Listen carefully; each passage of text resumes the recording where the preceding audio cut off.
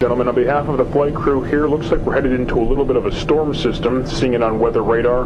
Air traffic control advised us flights in front of us have reported a bit of a bumpy ride. If you could please sit in your seats with your seatbelts fastened until we get through it. Here on Spirit Airlines, we have basically two options for dealing with storm systems. We could fly around them, or basically suck it up and go right through them.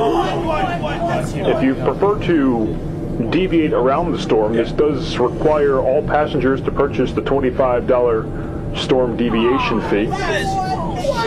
If you haven't done so, you can do so with your credit card or debit card. Just swipe it above your head there in the credit card slot. Oh, that's bullshit. And we'll be deviating as soon as we make the $2,900 quota that we're short on. Uh, should be entering the storm cell in about five minutes, so uh, talk amongst yourselves and uh, maybe you can work together. Once again, we have a Spirit Airlines. Thanks for choosing us. We'll be back in a bit.